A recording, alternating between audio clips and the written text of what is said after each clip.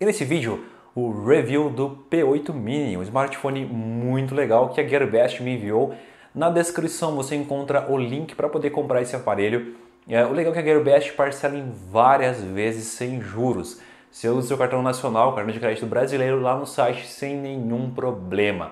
Além disso, a loja é, tem o frete grátis, então você não precisa gastar dinheiro aí com frete. E a questão é, de taxa, que muita gente fica em dúvida. Ah, eu vou ser taxado, não vou.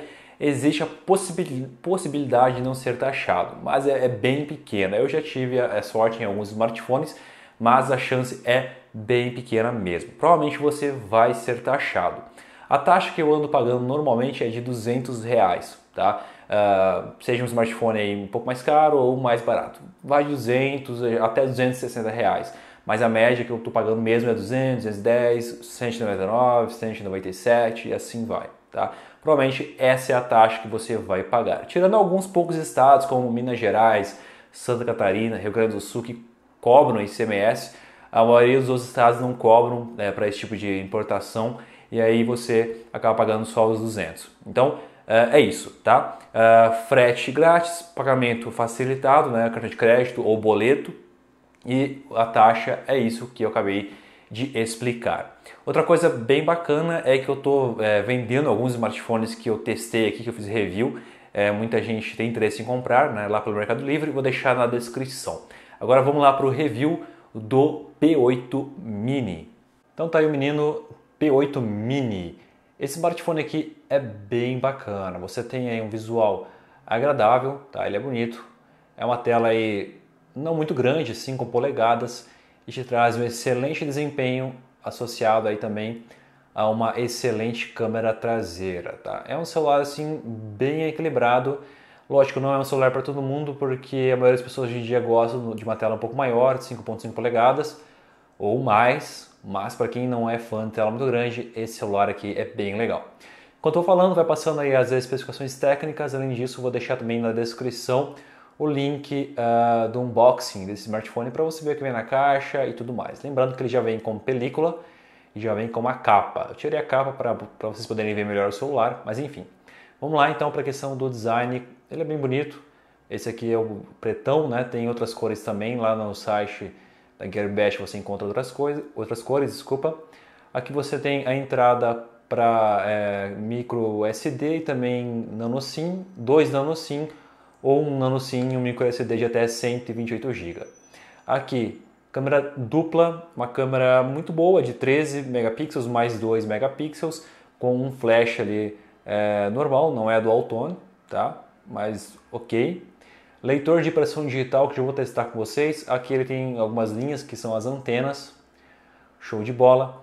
Na parte de baixo o logo da marca e na parte, na parte de baixo, no caso a parte inferior, né? Na parte de baixo do smartphone mesmo você encontra aí micro USB, saída de som e entrada para fone de ouvido. Na outra lateral tem aí botão para aumentar e diminuir o volume e o botão de energia. Na parte de cima não tem nada, tá? E na parte frontal é, botões para você controlar ali o Android, mas não são retroiluminados, porém eles são bem marcados, então se não estiver muito escuro você enxerga eles tranquilamente. Eu gostei também dos ícones, são diferentes, bem bonitos. Na, opa, acabei descendo demais aqui o celular. Na parte frontal, então, você tem ali é, câmera frontal, sensores, LED de notificação e um flash frontal. Uh, esse é o design dele, lembrando que o acabamento é um plástico, ele parece metal, mas é plástico. Somente o P8, que é o irmão mais velho dele, tem metal. Mas como ele é um pouco mais barato e tal, eles acabaram colocando aí um plástico. Tudo bem. Uh, ele vem com um Android aí praticamente puro. Esse visual que vocês estão vendo aqui é um launcher que eu instalei, então não é o visual que vem no Android dele, tá? Eu não sou muito fã do visual do Android puro, apesar de gostar do Android puro por ser mais leve, ser limpo, mas eu não gosto do Android, é, desculpa, do visual do Android puro. Então, normalmente eu uso uma launcher por cima, tá? Ele vem com um Android 7, então isso é muito bom, já vem com o Android atual, mais atual, né? O atual mesmo seria o 8 mas é bem recente. Isso é bem legal, garante desempenho no smartphone. Vamos lá então para a questão da câmera. Eu vou deixar passando agora algumas fotos que eu fiz com esse smartphone. Então, como falei antes, ele tem uma câmera traseira de 13 mais 2 e uma câmera frontal de 16 megapixels. Tem boas câmeras, não são câmeras assim, nossa, excelentes, né? Câmeras aí do Galaxy S8, mas são boas câmeras se você levar em consideração o preço do aparelho, que é bem baixo, tá? Se você comparar com preços aqui do Brasil. Então fiquem aí com algumas imagens, fotos e depois vamos ver outras coisas aqui do smartphone.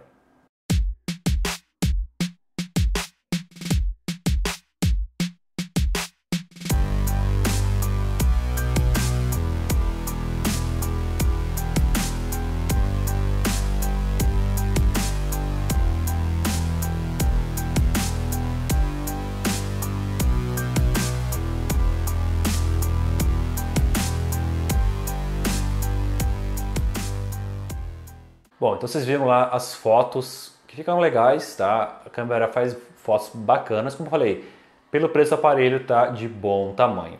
A questão do desempenho, estou aqui no Need for Speed No Limits e um joguinho aí pesado, tá? Não é um jogo leve e aqui roda com muita tranquilidade. Rodei também aqui o Asphalt X, outro jogo aí pesado, aqui rodou com bastante tranquilidade. Uma coisa que eu notei é que o smartphone dá uma boa esquentada, principalmente nessa parte de cima aqui, onde tem a, câmera, provavelmente por ali que tem as peças principais, né, processador e tal. Então a, ali dá uma boa esquentada, tá? Então assim, é... não é aquela coisa, nossa, vai queimar seu dedo, né? Mas dá uma esquentada legal. E usando a capa que vem com ele, acredito que deu uma boa diminuída nessa questão aí do, do smartphone esquentar demais. Então não vai te atrapalhar tanto usando a capa, tá? Aqui então, Need for Speed No Limits rodando bonitamente. Uh, outra coisa interessante desse celular é que ele roda aí 4G tranquilamente, né? funciona com 4G tranquilamente, inclusive 4G do Brasil, aceita chips de qualquer operador do Brasil, Oi, Vivo, Claro, TIM e assim vai, então você não vai ter problema com isso. E pode expandir a memória com cartão de até 128 GB para você que precisa de bastante espaço, tá? O som dele aqui, vou aumentar o volume para vocês verem.